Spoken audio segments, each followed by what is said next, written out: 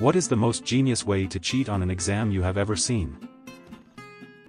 I was very very bad at chemistry in senior year but I needed to pass the final to get the class credit in order to graduate. So the day of the test I wore a very low cut top with a zip-up hoodie over it. I wrote down all the formulas from the study guide onto my cleavage, zipped the hoodie up, and just looked down at my boobs under the hoodie during the test for all the answers. I figured, I had nothing to get caught cheating with unless they demanded to see my cleavage, but that would never happen because I'm pretty sure they wouldn't want to get sued. I passed the final, got the credit, and graduated. That's why they make us strip naked at my school.